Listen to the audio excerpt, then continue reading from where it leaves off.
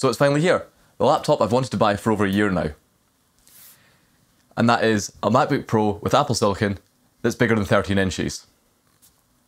Probably about two years ago now, I was wanting to get a new MacBook Pro because I went to the store and tried a 16 inch and just realised how much better the keyboard is than my, 16, than my 2016 15 inch. But because Apple Silicon was on, on the horizon, I kind of waited a little bit. Saw the M1 launch, it looked amazing, but I just wanted a bigger screen, and in particular also things like the ability to run dual monitors that the M1 doesn't support. So since the, the M1 came out, I've watched every Apple event and got extremely frustrated at all the announcements of watches and phones and fitness plans and things I really don't care about, and because I've just wanted them to launch this. But yep, last week they did the launch event, I watched it and ordered this, and it's finally arrived. Actually on launch day, launch day surprisingly. So yeah, time to take a look at it. Now, this won't be a full review video. This is more going to be a sort of unboxing, quick setup, do a tour of it, and then do a few benchmark tests. I'll then go away, use it for a while, and then if there's anything to report, I'll do a video on it. If I find that there's no real interesting things to report beyond what I've said in this video, I might not bother, but I might do if there's interesting things come up. But yeah, let's take a look at what I've bought. I've not even taken out the shipping box yet because I want to capture, capture all this on camera. I don't know, because I'm sad or something. But yeah, let's tear it open and see what we got. Because I've wanted this thing for so long. And there it is. Well, the, the, there's the other box inside the box, but yeah. So let's take a look at what I got. Because I have spent far too much money on this thing, but I cannot wait to try and try it out and see how it is. And yeah, this is probably going to be a very rambly video, and I know people get extremely irrationally angry if I make a video about an Apple product especially, and don't just show the products and I talk about it and talk about my buying rationale and stuff. So as always, there'll be there'll be timestamps in the video description and on the video seek bar, so you can skip to the part that you want if you want to just see the see the laptop and not hear me talk about it. But yeah, this is what I went for. And here it is. Here's the specs. And yep, I went for the 16 inch because I did want the bigger screen size. And yeah, I may have gone for the top spec pre-configured one and it's cost far too much money. But I do have a reason for that. So yep, this is a top spec pre-configured 16 inch. So when I say pre-configured, it's not got things like 64 gigs of RAM or huge SSDs. It's the top spec one that was available as like a retail, not custom one. So this has a 10 core M1 Max with the 32 core GPU, 32 gigs of RAM, and a terabyte SSD. So yeah, it is going to be stupidly powerful, and it's way more than I need. Now, this isn't actually the first one I ordered. On launch day after the event, I jumped straight in as soon as the store came up and ordered one. And that was a base model 16 inch with 32, 32 gigs of RAM. So I ordered the base model, which had the M1 Pro 512 gig SSD, and for £400, which was a lot, I upgraded to 32 gigs of RAM because I'm going to have this a while. I want to have that future RAM capacity, and I do, do use, use things like Docker, which runs virtual machines, so having RAM is quite useful for that. And that machine cost 2799 and it's actually coming on Friday. I need to return it when it arrives. And that was going to be fine. And I looked at the other configuration options because I was tempted by the 24 core GPU M1 Max, which was about £200 more. But doing any of that sort of configuration was pushing the delivery estimate up to December, and that was just too far off. I didn't want that. So I settled on the 27991, one, which was the base model with 32 gigs of RAM. So I ordered that, that was all fine. But then Costco sent out an email announcing they had these available for sale and they had this one, which is the top spec, for £3,049. So yeah, this machine's normally 3299 from Apple. Costco had it for 3049 which is still a ridiculous amount of money and I'm still trying to process how much I've spent on a laptop. But that's £250 cheaper than Apple for this. And that gives the faster CPU and the terabyte SSD. If I were to apply these upgrades to the one I bought from Apple, the terabyte SSD would have cost £200 more, and the M1 Max 32 core would have cost £300 more. So this costs 50 quid more than just getting the terabyte SSD on its own, and 50 quid less than getting the 32 core GPU and keeping the 512 gig SSD. So yes, it was a stupid amount of money, and I did kind of jump at it because it was a good deal rather than because I need it. It's here now. Time to take a look at it. The other thing that's also worth mentioning is that by buying this from Costco, at least at the time of filming and in the UK, you got a two year extended warranty. So you get the first year of Apple Care as standard, then after that year, you get another year of like a Costco warranty, which probably isn't as good as Apple Care. You know, you're not getting the support from Apple, you're getting it from Costco, but it's better than nothing.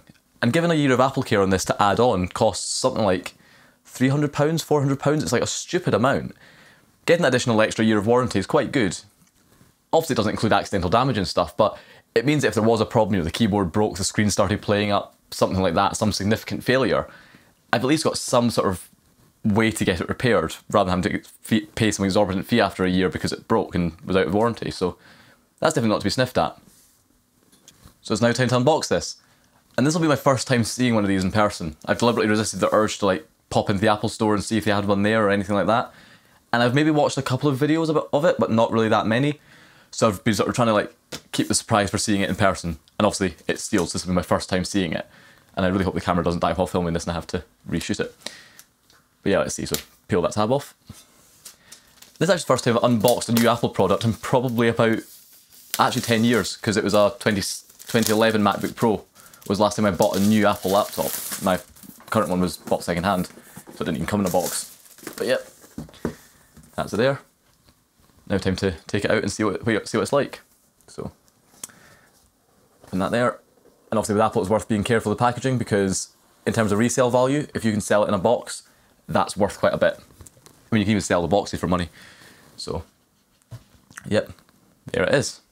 So that's it there, got the Apple logo, tabs lifted out, very standard for a Mac, can just see what this feels like, because I've got no idea what this is like weight-wise, size-wise, feel-wise, because obviously they've totally changed the style over the previous one. So let's lift it out and see. So, that's there. It's got a bit of weight to it, but doesn't feel bad.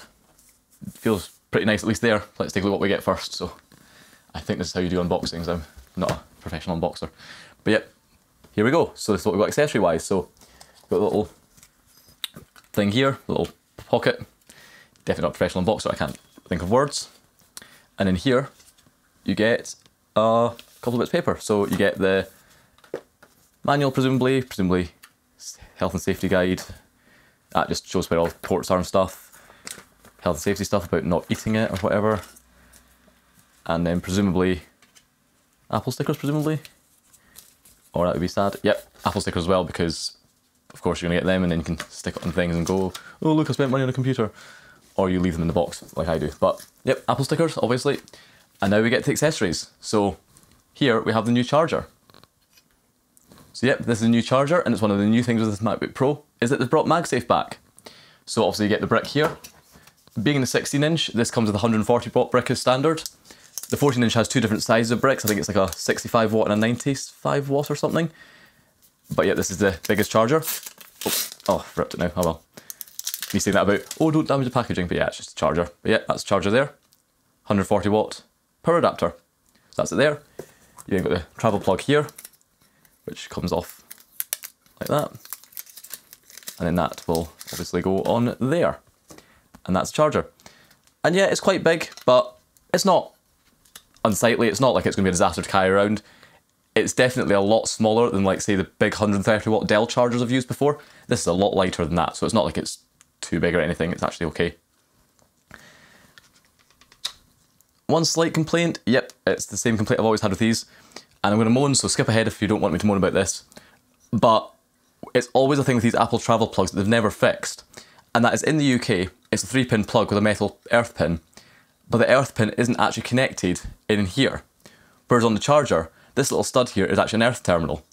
So all they would actually need to do is put a connection from that earth pin there to in here that connects to that stud to ground the charger. And I find that's quite important because even though it's not really a safety thing, if you've ever used a MacBook with one of these sort of travel plugs, and when it's been plugged in and you run your hand across the surface and you feel a sort of tingling sensation, that's because of this if you use an earth plug with this charger, it actually doesn't do that. And that's something that I've got here.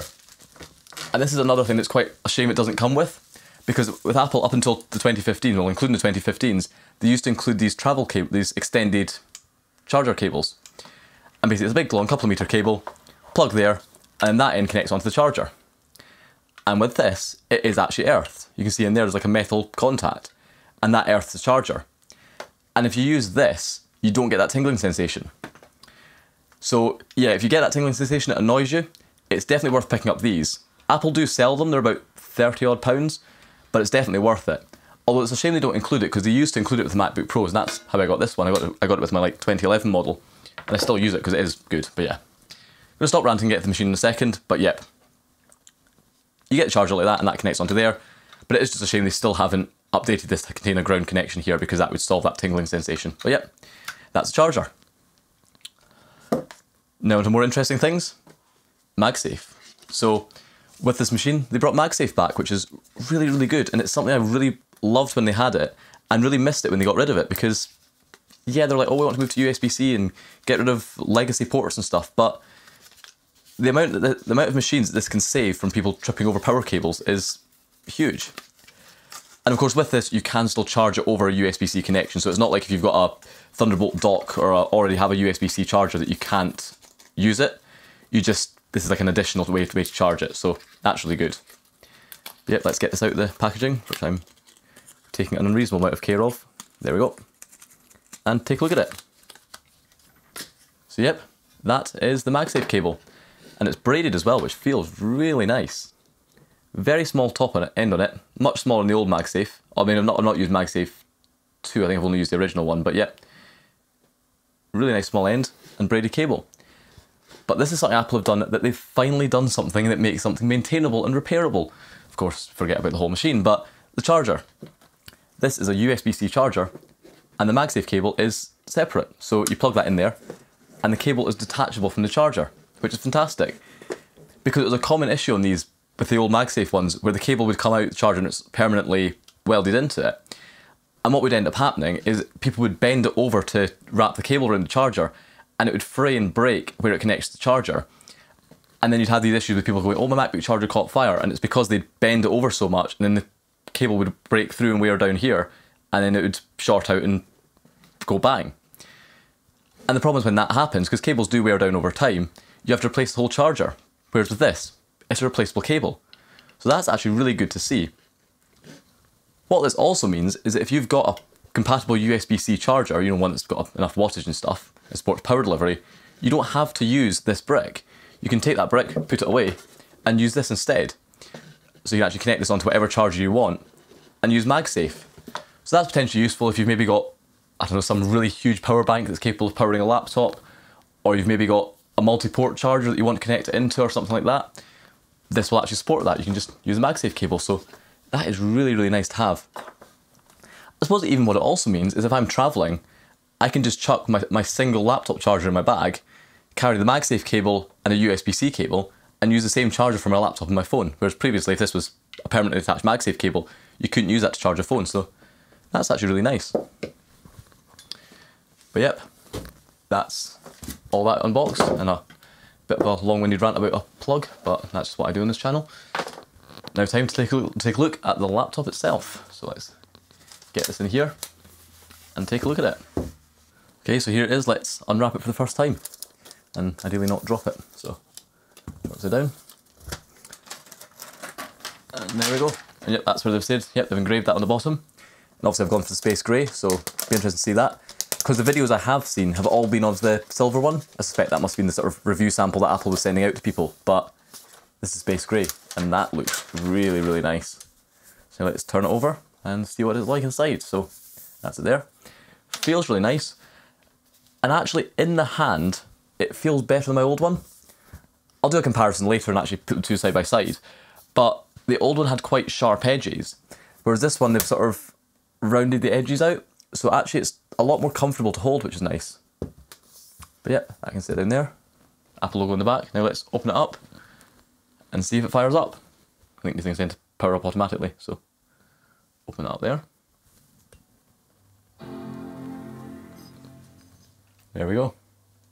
So if we pull that off the screen, don't know why that's stuck on there, but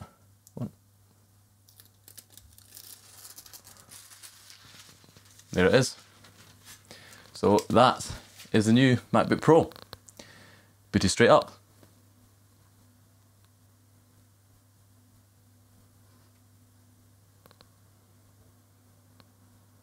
Oh, this is the welcome screen so I can continue through the setup wizard here. So yeah, there we go. That's it working.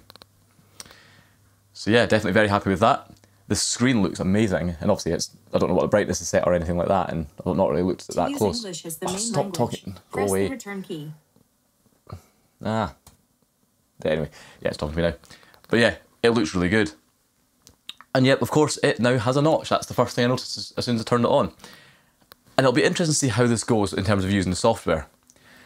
Because I'm not the sort of person that's going to go full on hating it. Oh my god, it's got a notch, it's terrible, hate it, never buying a Mac again. Because what they've actually done here with the notch is they've used it to increase the screen height. So it's not like you're getting any less screen space than before by the notch encroaching on it. All they've done is they've extended the screen up into the top bezel. So most of this area will just be taken up by the macOS menu bar, and because that's part of the OS, they can kind of work around this notch. And because the screen's higher than 16 by 10, I think it's 16 by 10.4 or something, any sort of 16 by 9 content will just fill the middle of it, not the top where the notch is. So I don't think it'll be a problem, but it's something that I can probably come back to afterwards and go and explain actually how I find it. It is definitely a little bit unnecessary given it's only got a camera in it, but what I suspect they've done here is they've put it in for future, future expansion with things like Face ID. So they're not going to put Face ID in this particular model, but what this means is in the future, if they do want to introduce it, which I suspect they will, they can add it in with all the appropriate IR cameras and not have to change the appearance. So it's not like, oh, we've brought in IR, brought in Face ID, but now you have a notch. People get the notch, they get used to it, and then they add Face ID into it. So yeah, that's probably my predictions to what will happen. But yeah, doesn't really bother me too much, but it'll be interesting to see what happens in software. But also just looking at that keyboard, looks really nice. That black background looks really good. When I'd seen pictures of it and even videos of it, I wasn't a big fan of this because I felt it looked like when you have a MacBook and someone puts one of those like rubber keyboard protectors over it, just because the whole thing was one colour, and it didn't look that good. But actually in person, that looks really good. It doesn't look like that at all in person. It looks really, really nice. Final thing is what does the keyboard feel like? Yep, that's a lot better. that is probably the main reason I went for this machine, is because my current machine is a 2016 with a butterfly keyboard. And it's not the original butterfly, that was the 12 inch MacBook. It's basically the first butterfly keyboard in a MacBook Pro, and yeah, it's pretty bad. So, yeah, this keyboard is so much better. But yeah, that is working. Use British English as Stop talking to me. Press the return key. But yeah, that's there. So what I'll do is I'll go away off camera and just run through the setup wizard just to get it all working. Then I'll come back and show it off, do a couple of performance tests, and then give my first impressions. So now before I go and set it up, let's take a quick tour of the hardware. So here it is here. It's got a really nice flat shape to it. Looks really good. We'll do a comparison to the old machine later, but I do much prefer this. It feels a little bit bulkier, but it's not much larger or thicker or anything. It's just, I think, the, the shape, this is more flat, whereas the other one's tapered. But we'll do a comparison between those two later. But yeah, in terms of style, I absolutely love it. It's such a nice looking machine. It's definitely sort of lines up with my personal style preferences, which is good. So we take a look at the ports around the side. We can see that Apple have finally listened and actually brought ports back, which is amazing and weirdly surprising, but yeah, it's really good. So on this side, you get your two Thunderbolt 4 ports, which I'll, I'll use extensively. Obviously, they work as USB-C. I use a Thunderbolt dock. It's extremely useful. Headphone jack, and apparently this now has support for high impedance headphones. Unfortunately, this machine arrived much earlier than expected, so I don't have time to go into the office and get my 250 ohm headphones to try it with. But apparently it does have support for high impedance headphones. And a friend tried it, tried his this morning with high impedance 250 ohm headphones, and apparently it can drive them. So that's really quite good. So if you've got good headphones, you don't necessarily need, need an external DAC. And then we've got MagSafe. So MagSafe is finally back. So I mentioned that earlier, and yep, it works. So you've got laptop there, MagSafe charger there, and it will, well, magnetically attach. And obviously if you trip over the cable, it rips off. So it's great to see that coming back. The only weird thing I noticed, it's just, it's a very, very minor gripe, but it just feels a bit like non-Apple-y, is the MagSafe connector is silver, despite this being a space grey machine. So when you plug it in, there is a noticeable colour difference between the two. Really stupid thing to moan about, but given Apple's done that historically where like space grey stuff's come with black lightning cables and things like that, it's a little bit weird that they've not actually made a separate colour of that, but yeah, it doesn't really bother me at all. But yeah, it's really nice having MagSafe.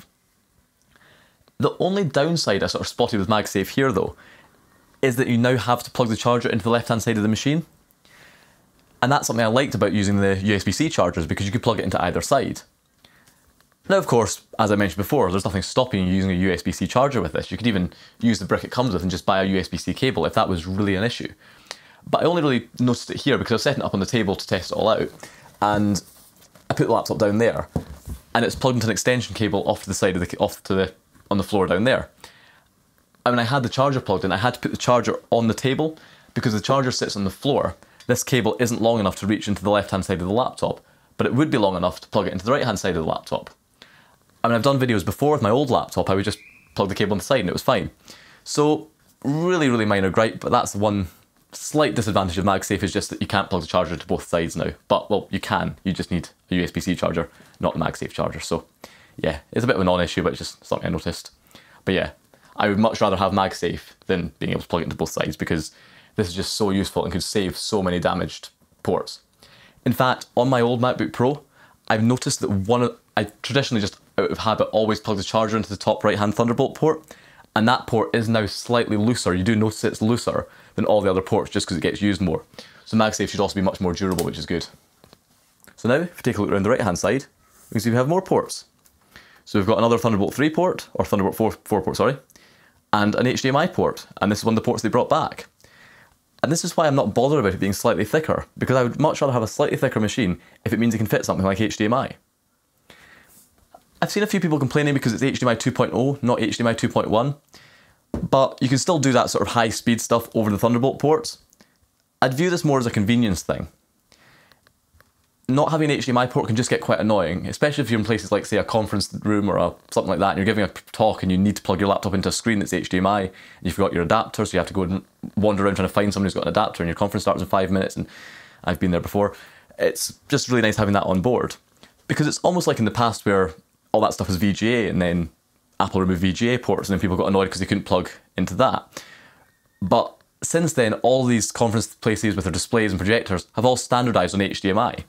So you're going to have HDMI ports around for a very long time. So having that is just so useful. So I'm really glad they brought that back. And then the final thing they brought back is the SD card reader, which I'm so glad to have. Because even though on my desk I've got a Thunderbolt 3 dock that has a built-in SD card reader, a lot of the time when I'm editing videos, I want to just sit on the couch. What I'll usually do, my, my workflow, if you could call it that, is I'll just sort of sit on the couch when I'm relaxing, and I'll import the videos, clip it all together, cut bits out, just get the basic stuff done. And then when I actually want to do things like colour grading or audio work, I'll go in through and sit at my desk and plug it into the dock. But that means when I'm actually importing the footage, I'm not necessarily connected to my dock. It's not the biggest deal in the world, I just use this cheap little USB-C dongle I've had for years, and that works fine, it's got an SD card reader. But the number of times I sat down to do it and I've forgotten this and had to go and get it and things like that is a little bit annoying. But the other benefit of this is this is actually a UHS 2 card reader. I hadn't really thought about it, but then when I was importing footage for a video editing test I'll do later, I just used an SD card to copy it over because I didn't have a big flash drive lying around. And it was able to copy the footage super quickly. So it's really good to have a UHS 2 card reader because that is much faster than the card reader in these sort of cheap dongles here. So you actually get a benefit with the internal card reader as well. So yeah, it's really good to have that. Apart from that, not much else to report, just really, really nice hardware. Big vent around the back. And then if we open it up, we can take a look at the inside of it. So open that up. The instant wake from sleep is insane. Like, I know all the memes and stuff of Tim Cook doing that and this thing when he's kneeling down, but literally it starts up like literally instantly. Okay, not it, there's a there's a fraction of a second there, but you know it's super fast. You got Touch ID there. It's really really good. And yeah, I'm not going to rattle on too much about the inside because I already talked about this when I first looked, but the keyboard looks amazing. I really like this black background. The feel is fantastic, especially coming from a butterfly keyboard. And in fact, one thing I noticed earlier, because I'm on the early butterfly, it doesn't have a physical escape key. I can't remember what I was doing. I was doing something where I needed to press escape, and I almost found myself like just naturally just trying to be quite precise and tap the touch bar escape key. And I had this sort of moment of, wait, I've got real escape key. I can just like press there in that area and it'll work. I don't have to like delicately press where it is on the touch bar. And it was actually really quite a sort of, oh yeah, escape keys can be physical. So that was really nice. The other thing I noticed as well, it's a bit of a difference, is actually the ventilation. So if we look back here, probably won't see on camera, but there's really big air vents in the screen hinge, which the old machine didn't really have. The old machine had a sort of quite a, a hard bit of plastic as part, as part of the hinge mechanism here. So there wasn't actually much space for the air vents. So not only are the fans really loud on that and run constantly because it's Intel, it also meant that because the air was squeezing out through a very small gap, it was probably adding a bit to the noise because a lot of the noise did sound like the air sort of being forced out into more air turbulence rather than just fan noise. So when the fan does kick on on this, I'm hoping that'll actually make it a lot quieter and provide better airflow.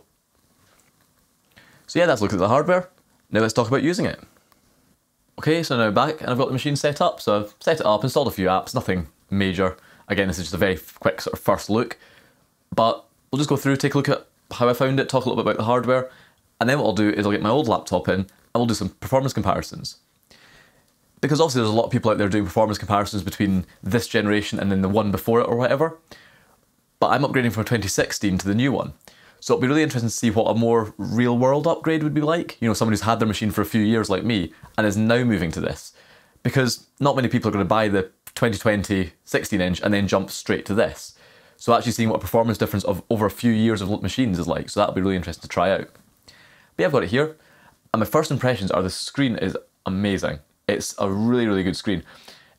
And it goes super bright. I mean, that's a full brightness, but this is obviously under bright studio lights. It's not like retina burning level that I thought it might be, but it is still really bright and it'll be amazing in sunlight. And when it comes to the mini LED, I immediately noticed that.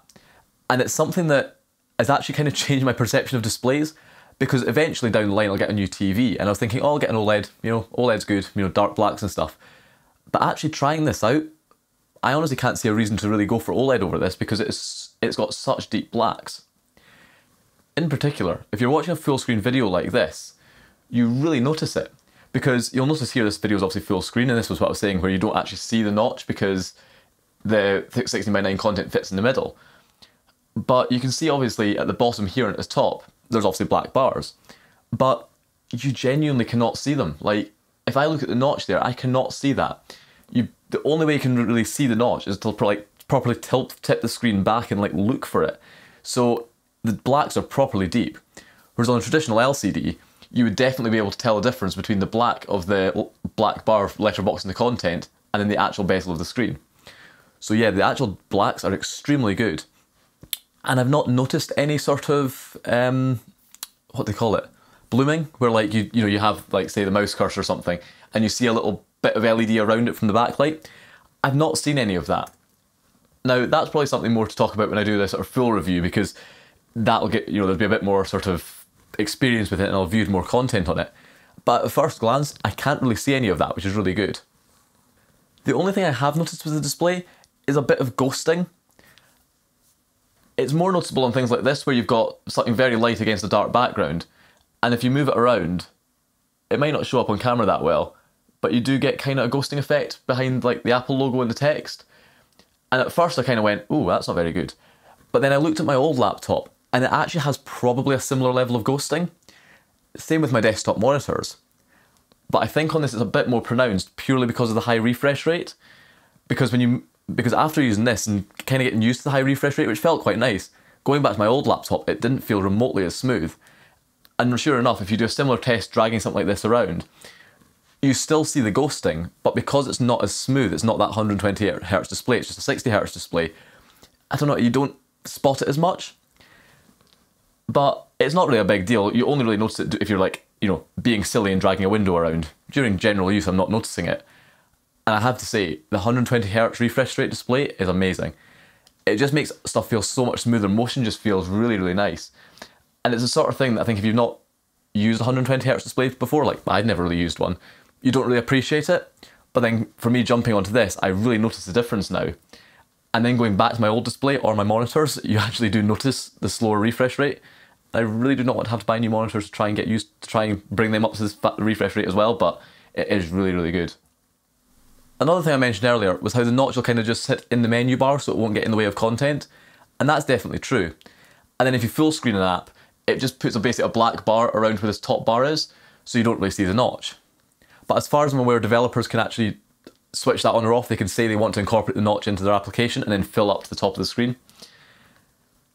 And one thing I have noticed that's definitely definitely noticeable, but I'll definitely get used to it, is that they've increased the height of the menu bar slightly because the old menu bar would kind of just it wouldn't fill up right to the height the height of the notch. They've definitely made that taller. in particular, I don't use my machine at its native like more space or standard size scaling. So like on the display, I don't use it default for this display or the one that says default, which apparently looks like 1728 by 1117 on this new display. I always use it on the more space one to get a bit more screen real estate. And that apparently looks like 2056 by 1329, of a random resolution. But I use it at that. And what I noticed is that previously when you went between default and more space, the menu bar would massively shrink in height.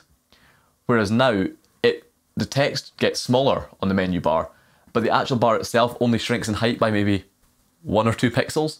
So the menu bar is definitely taller. That did initially concern me, but I did a bit of a test, and as far as I can tell, even on this, with that whole notch in the whole menu bar, you still get a tiny bit more vertical space than on the older machine. So let's take a look at that. So this is the quick test I've come up with here. It's definitely not very scientific, but I came up with it in a couple of minutes. But essentially what I've got here is I've got two machines, my new one and the old one, and on both of them I've full screen Chrome. This is just Chrome running a blank, showing a blank page. And as you can see on the new machine, it just puts a bezel at the top of the screen. You don't see the notch, it kind of just, the bezel just disappears, so it doesn't really get in the way of the content. And even just looking at these two machines side by side, that top bezel, including the notch, is actually smaller than the actual bezel on the 25th on the 15 inch 2016 machine. What I've then done is I've opened up a Chrome JavaScript debugger and I've just looked at the variable which is window.visualviewport.height and I've checked that on both machines and that's basically, basically the height in pixels of this white area. So essentially what your content would be, your web page, whatever you've got there. On the older machine, that is 1200 pixels, which is correct because this is set to the same scaling as this, the maximum scaling. And on this machine, that apparently looks like 1920 by 1200, so that's, that's correct. On here, apparently it's 1286 high, so it's 86 pixels more vertically on this machine than on this machine, even when the top of the screen is sort of blacked out because of the notch. So that's actually okay. I'm not losing any vertical screen space, which is something I really care about. Now the only other thing to bear in mind though, of course, is this is a 16 inch machine, this is a 15 inch machine, so there is a chance that the 16 inch without the notch, the previous generation might have been taller vertically, I'm not sure, I don't have one to test with. But yeah, going from this to this, I'm actually gaining vertical space, even if I don't incorporate the notch. And obviously with the notch there, and once I'm not, I'm outside of an application, I've now got all of this extra space that previously I didn't have. And of course, once I've not got something full screen, and I've got a windowed application, I'll have all this extra space, which on this machine will be taken up by the menu bar, because on here, the menu bar is nudged up. So yeah, the screen's absolutely amazing. The 120Hz refresh rate is great. And the notch doesn't really bother me. I do notice it there, but I think I'll get used to it. It's maybe worse if you use light desktop backgrounds, but that's not me, that's, that shouldn't bother me at all. And yeah, having that additional vertical screen space, especially when using windowed, windowed applications with the menu bar visible, will be really worthwhile. So before we dive into the performance test and then wrap up, we'll take a quick look at the hardware comparison between the two as well. Because one of the big comments I've seen is people saying how big the new one is. And it is a bit chunkier, but not by much. Thickness wise, they're very similar. I think it's like a fraction of a millimetre between the two. But the difference is that this one's tapered. So on the old machine, it's got a sort of tapered design where it's quite thick in the middle, but it noticeably tapers out towards the edges on both the top and the bottom and that means that at the edges it's very thin. Whereas on the new machine, they've got rid of that. It's now totally flat across the top and the bottom with rounded edges. So that's why it feels a bit thicker, because it is thicker at the edges, it's just not tapered. But to be honest, I don't think it's going to make a huge difference to me. Realistically, if I'm transporting these, neither of the, like, this is not going to be harder to transport than this. They're both already fairly large laptops, but still quite thin, I can't see myself finding a situation where I've got a bag that this fits in and this doesn't. And the weight difference, well, I think this is heavier, I've not checked. It doesn't feel much heavier. You can maybe notice a slight difference, but it's not, again, going to be a big difference at all. So the size difference doesn't really bother me. The other thing I'm interested in checking, I actually haven't checked off camera, is the difference between the two machines, like footprint wise, because obviously I've got a 15 inch and this is a 16 inch. And to be honest, basically nothing yeah, you're maybe looking about, don't know, five mil wider on either side, so like a centimetre wider. I mean, this is me purely guessing. I mean, Apple do publish the specs. And then round that way, again, tiny bit deeper front to back, but not really a big difference at all. That's not going to bother me. It's definitely not going to be any harder to transport. So size wise, I'm weight, I've not got a problem with it because I have seen people going, oh, it's too bulky. But uh, bulky. At least for me, it's not going to be too bulky at all. And in terms of aesthetics, even when it's shut, I much prefer the new design. I really like the sort of flat, sort of. I prefer sort of flat shapes with like curved, like rounded edges and stuff, not sort of bulbous shapes that taper off like this one does. It looks a lot more modern, and it's weird because it kind of gives vibes of both a modern iPad and an old PowerBook. So like modern Apple and super old Apple, because the old PowerBooks were very similar. They had a sort of flat top, rounded corners, and yeah, it's weird. It's a sort of hybrid of old and new. It's really really nice. So now it's time for the moment of truth. Let's take a look at some performance comparisons between the two machines. So first of all, we're going to use Geekbench. Obviously, everyone uses Geekbench. On the, on the old one, we can see here it's got the i7 6820HQ and 16 gigs of RAM. And this machine's got the M1 Max and 32 gigs of RAM. Now, I will confess they do have different macOS versions. This is Big Sur, this is Monterey, just because I haven't updated this yet, but hopefully it'll be similar enough.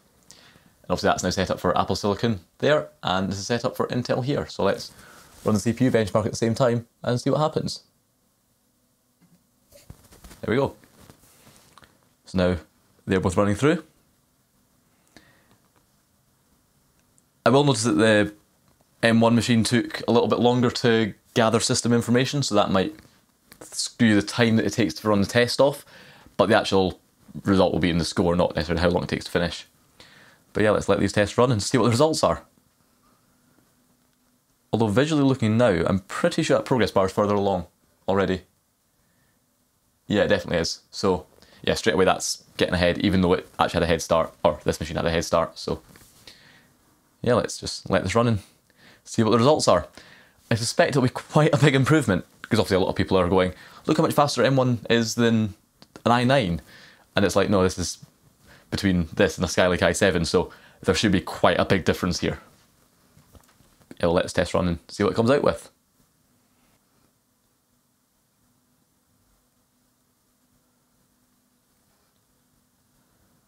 And there we go, that's the results. So, well, sorry, the results for the new one, the old one's still going.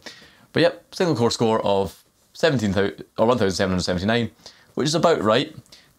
The M1 Pro and M1 Max have similar single core performance than M1 because that's essentially all they are. They're just M1s but with more cores. So that's still incredibly good single core performance. It'll be interesting to see what this thing gets. And then multi-core is 12,702, which as far as I'm aware is really, really high. Let's see, rough comparison to other Macs. Um, multi-core, so 12,000 odd, is basically somewhere between a late 2019 Mac, Mac Pro with 12 cores and an, 8, an 18 core iMac Pro. So that's pretty high. So yeah, the performance of the CPU is huge. And if you actually look at like a processor benchmark chart and look at multi-core in here, we're kind of sitting, let's see, what was it, 12702? Around i9, desktop i9 Xeon W level AMD EPYC, like super powerful. But oh, the old one's done now. Uh, oh, wrong button. Um, yeah, that's quite a performance difference. If you just go a little bit closer and just look at those numbers. Um, single core on the new one, 1779. Old one, 861. Old one, multi-core score, 3467. New one, 12,702. That's quite a difference, I would say. So yeah, that's a very impressive performance difference between the two. Obviously, it's to be expected. There's about five years between these two machines, but still, or four years because this is late 2016, but still, massive performance improvement. Next up, we'll do a GPU benchmark, and I suspect this will be quite a big difference as well. So on the old machine, we've got the Radeon Pro 455, and on the new machine, we've also got the M1 Max 32 core. And we're going to use the Metal API for both just for the comparison between these two machines. So let's run GPU compute benchmark and see what happens. So that's now running. Again, takes longer to gather, gather system information on this, don't know why, but yeah, let that run and see what the results are. I suspect this will be quite a big difference. Oh, the results are in on the new one and the old one's um, yeah. Probably to pause for that one so long, but yep, that has now got a score, a metal score of six, 60,306. So that's pretty high. Also, let's go and take it. We can go and take a look at the metal benchmark chart to see what that compares to. And if we look here, that's 6306, which, yep, that is in the sort of real realms of Radeon RX 5700s, Vega 64s, you know, desktop cards, but in a laptop. And obviously there are some more higher ones, you know, super high-end desktop Radeons and dual GPU things and stuff like that. But that is still really, really, really powerful. Like, yeah. Oh, it's done. Let's see how this compares. Ah, yeah. So 12,830 versus 60,000. So yeah, five five times GPU power or something in this over this. That's quite significant. So now for another test, let's try Cinebench. This part I'm just trying to embarrass this old machine because there's no chance it's going to be anywhere close. But we'll start a multi-core Cinebench test and run that, see how quickly quick the difference is, because this is quite a visual test to see the performance difference. Oh, I didn't press start, whoops. Oh, I did. Ah, well, okay, um, we'll start that again, but yeah, that's a bit of an outtake there. I, I, it literally took so long to start, I actually didn't, I thought I hadn't pressed the start button. Right, let's try that again, and actually just be aware that this takes a little bit longer to start than I thought. So let's press start at the same time. There we go. And that's now running. This one's still starting, and it's now started now, and there's just not really much comparison between the two of them. Like, yeah, that is a bit ridiculous. Now, of course, there is a level of this being 10 core and this being 4 core, but yeah, it's just not anywhere close. The other thing I'm noticing is the dreaded fan noise. I can hear the fans starting on the Intel machine. Definitely. The, the Apple Silicon machine is just vaguely warm on the bottom, like slightly warm, whereas this one is already getting quite hot on the bottom and, and the fans have kicked in. Whereas, yeah, I don't think the fans are running on this one. So yeah, not only is this one a lot faster, this one's now getting hotter and louder and I can hear those fans still ramping up. So that's finished there. And it's got a score of, where is it? How do I get the score? 12,376 points.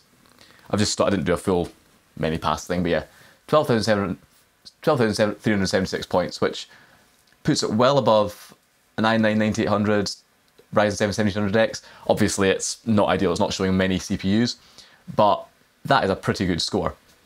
And when this one finishes, we'll see where it lands. Was it frozen? No, it's not frozen, it's just, uh, oh, it's rendering a slightly detailed area, and it's really not happy. Right, let's see what score this thing gets.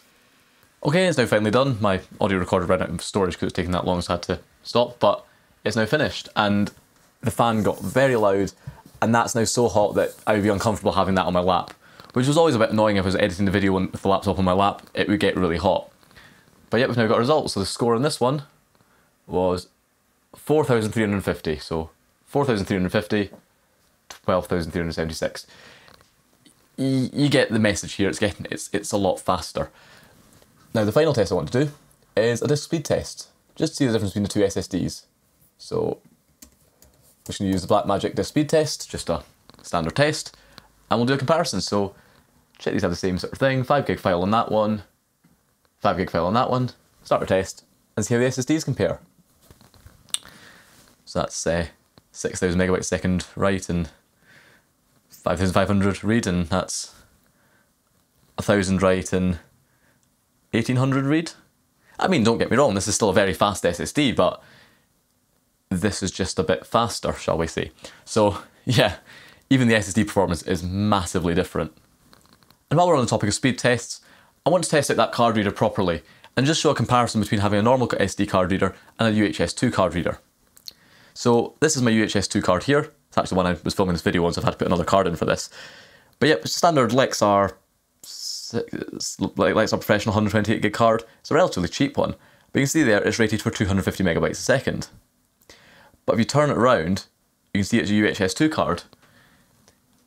If you compare that to a traditional SD card or an adapter because I didn't have another one handy, you can see a traditional SD card only has a row of one row of pins, whereas UHS2 has that and it's backwards compatible, but it's got these additional pins here for higher bandwidth.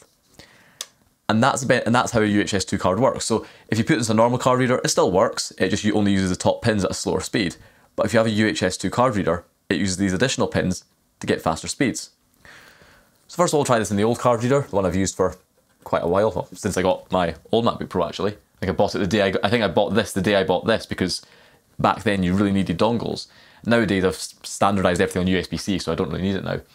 But that's it in. So if we go in here, change the target drive, I will change that to the SD card, open, do a 5 gig file again, and start a test. And there we go, that's writing about 78, 80 megabytes a second, 75, 76, high 70 megabytes seconds, and then reading about yeah 83 megabyte a second, something like that. Not terrible, but obviously not as fast as that card can do.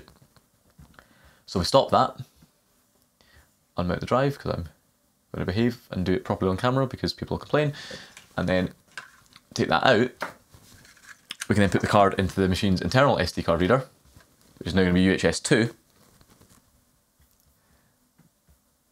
Might need to change target drive again, there we go. Open, and run it again with a UHS2 card reader. So you see we're writing there now about 100 megabytes a second, which is just the right speed of the card. That's more than fast enough to write footage to it. The main thing will be the read though, because that's what I want to ingest from, and there you go. 220 megabytes a second. Yep, 222 megabytes a second. So that is hugely faster. It's several times faster than the old basic card reader. And that'll make a big difference because just ingesting footage off the SD card takes quite a while when I'm editing videos just to copy it all off. Oh yeah, they're now at 250 megabytes a second, which is the rated speed of the card. And this card's been used quite heavily. So yeah, that is really impressive. And that'll be a nice, just when it's just one of those nice to have things, just being able to ingest footage off the card quicker will just be a nice thing to have, and it's really nice having that built into the machine. So synthetic benchmarks are all well and good, but what really matters to me is real world performance. There's a lot of different tests I could use, but I've decided just to do a simple video rendering test because I'm very familiar with that and I've already got all that ready. So what I've done is I've taken my project I did for my latest video, which was the network up cabinet upgrade, and copied that onto both machines. And I used DaVinci Resolve, so both machines are running the latest version of Resolve. And all I'll do is I'll just do the same export on both, which is just a standard H.264 export with 24-bit linear PCM audio. It's just what I've always done. With this new machine, I'll now have H.265 acceleration, so I'll probably move on to starting to export H.265, but that would be a fair comparison because this machine doesn't have any accelerated H.265 hardware, so the performance would be absolutely dreadful. But yep, got both projects set up, so now if we hit render we should see quite a difference. Now bear in mind that I currently only edit 1080p, so even this old machine can still render that perfectly fast, it renders really quickly. I was always really impressed. But this machine should hopefully be a bit quicker, and I imagine it, uh, not maybe not in the immediate future, but at least within the lifetime of this machine, I'll probably end up going to 4K, at which point I'll notice a huge difference. It's really annoying because my one of the previous videos I did, it was the house networking one, I filmed on my phone which was 4K, so I actually had a 4K project, so I could use I could have used that to test and then stupidly deleted it the other day, but yeah, let's run this test and see what the rendering performance difference is like. Three, two, one, go. So there we go, that's now rendering, so let's start off. Uh, oh, yeah, okay, so, yeah, there's, there's a difference. So this one is rendering 181 frames a second, this is rendering 287 frames a second. That's quite a bit quicker, yeah. Mm-hmm. That's, that's more than I thought it would be.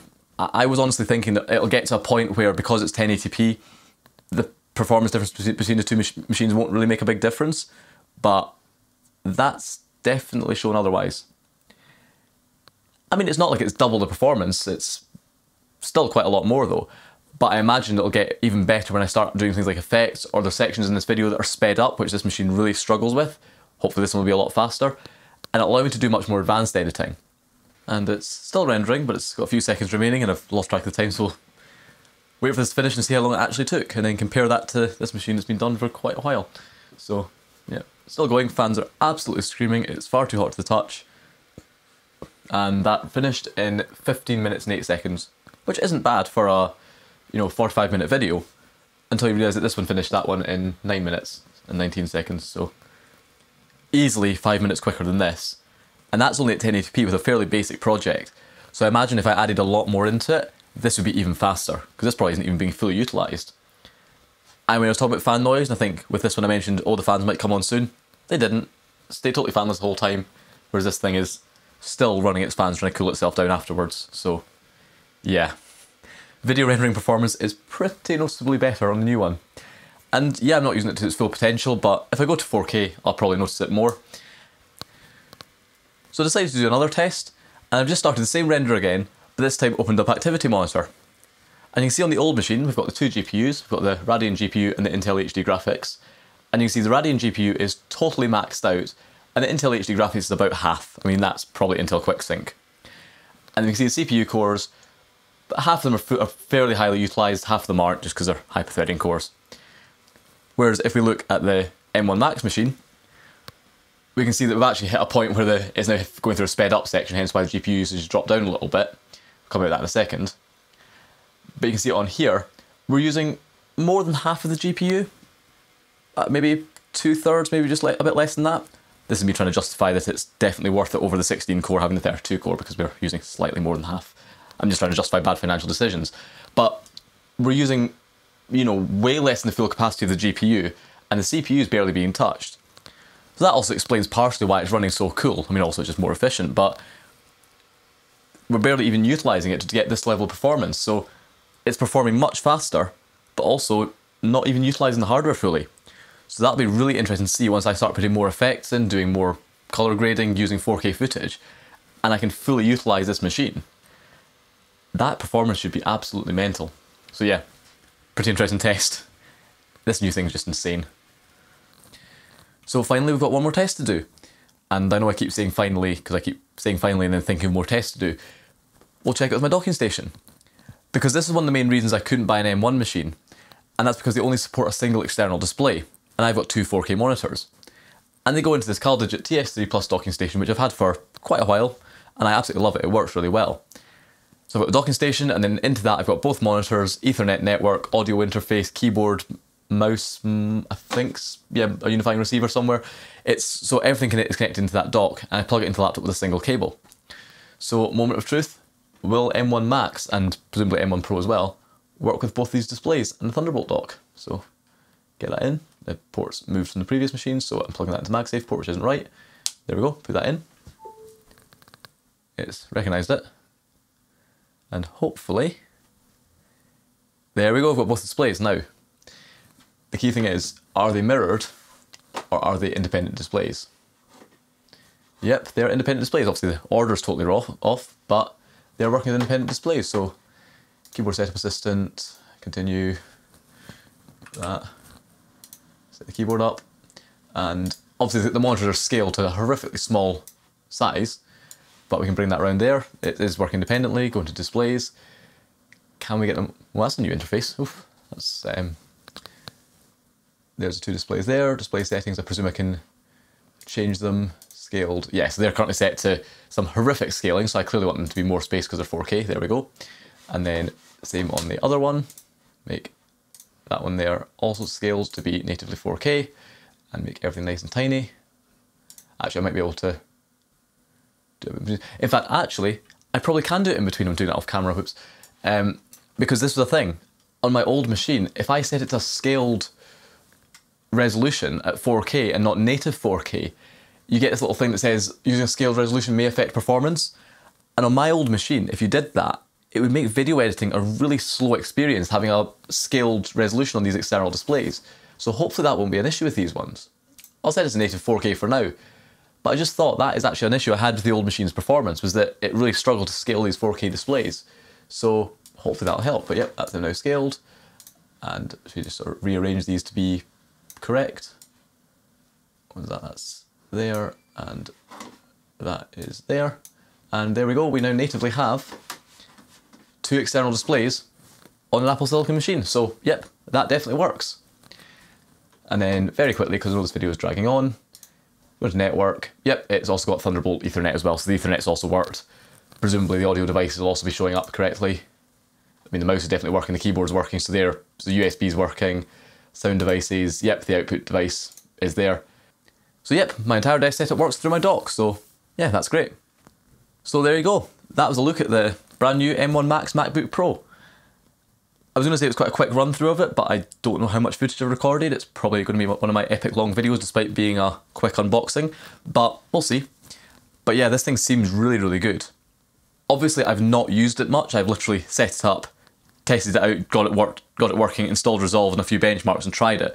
So it'll be really inter interesting to see how I find using it long term.